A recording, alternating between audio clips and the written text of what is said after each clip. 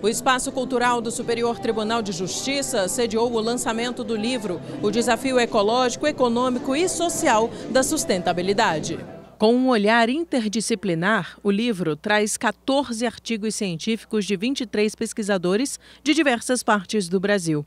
A busca é por avanços rumo à construção de sociedades sustentáveis. A obra propõe um olhar atento para as questões da contemporaneidade de forma integrada ao abordar segmentos ambientais, sociais, econômicos, políticos e sanitários.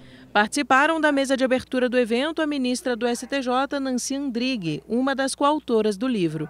A organizadora da obra, a professora e pesquisadora Maria Cláudia da Silva, assim como os coautores Tereza Vilac, Claudinei Chavasco e Leandro Kacharovski, responsável por escrever o primeiro artigo da obra.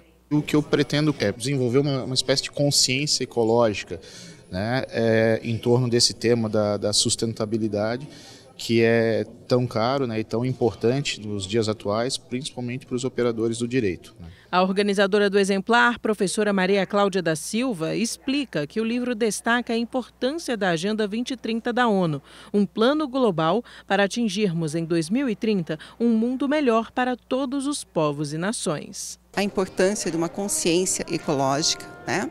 numa sociedade contemporânea, uma sociedade é, hoje, é, de certa forma, adoecida. Né?